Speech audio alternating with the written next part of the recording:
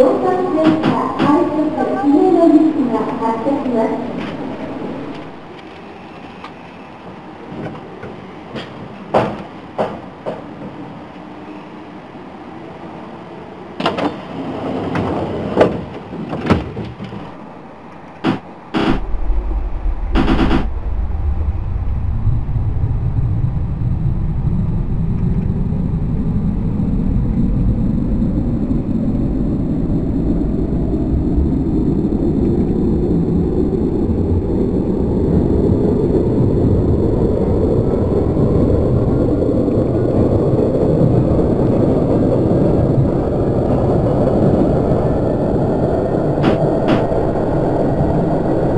お待たせいたしました本日も JR 西日本をご利用くださいましてありがとうございます快速ひねの駅です止まります駅は堺市三国ヶ丘大鳥泉府中東岸和田熊取です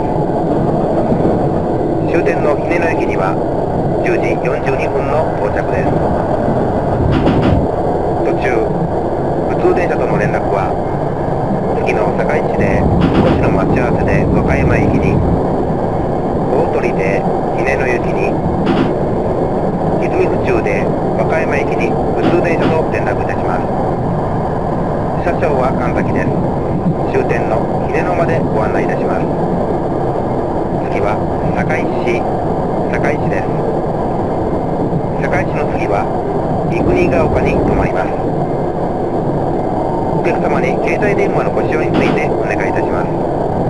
各車両後ろ寄りの優先座席付近では電源をお切りください。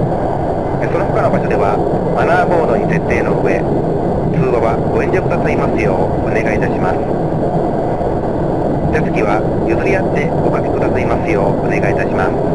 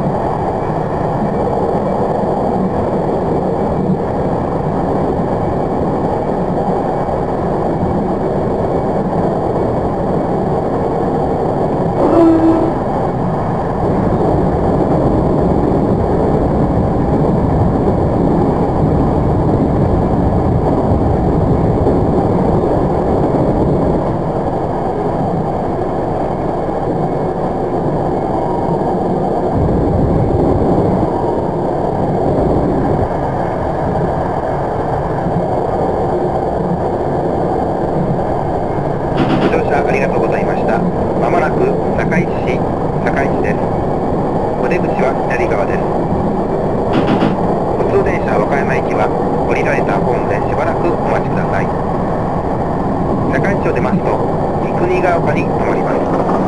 ドアから手を離してお待ちください。高石です